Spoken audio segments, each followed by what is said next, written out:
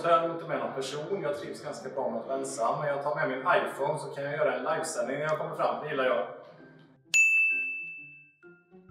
Ser du arg ut nu? Nej, jag är arg när jag sitter i en bil och har en iPhone framför mig. Det finns väl inga fördomar om mig? Finns det det? Jag har inte aldrig hört någon. Om du inte har några fiender när du dör så är det ett tecken på att du aldrig stått upp för något i livet. Nej, alla mina talanger är kända för allmänheten. Ja, det är nog min gråa hoodie. Den är ganska bra på att sköta sig inomhus. Jag håller på att försöka få den rumsren. Men den har kissat in den tre gånger och varje gång har det skett på min dotters matta som hon älskar över allt annat. Så hon är helt vansinnig. Den enda gången jag kissar inomhus det är på hennes matta.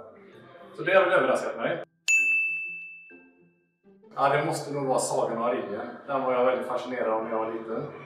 Det var jag, jag tror jag läste den ja, i alla fall 6-7 gånger.